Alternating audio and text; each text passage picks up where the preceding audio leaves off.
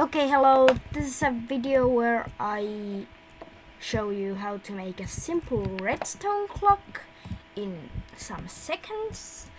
So the so everything we need is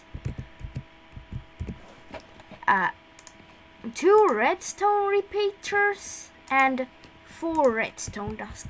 Well, I am in creative.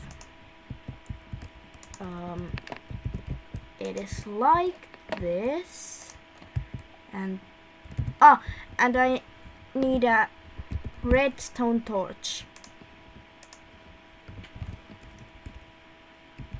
So I connect this like this. And uh, no. Okay a red the redstone clock is ready Bye bye. See you next next time.